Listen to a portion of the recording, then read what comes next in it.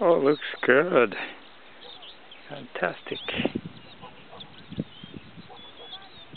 He must be he must be very experienced. He knows what he's doing. Wow. Look at this.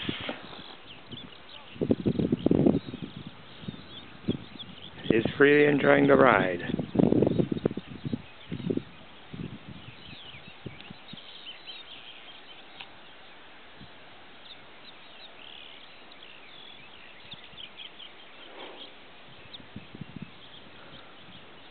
Gee, I wish I could be like that.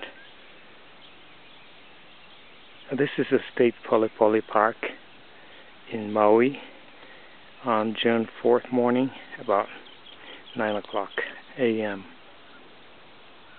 And I'm zo zooming in so you can see the view and the rider. Jesus, this is above um, Ali'i Kula Lavender. Gee, wow, fantastic.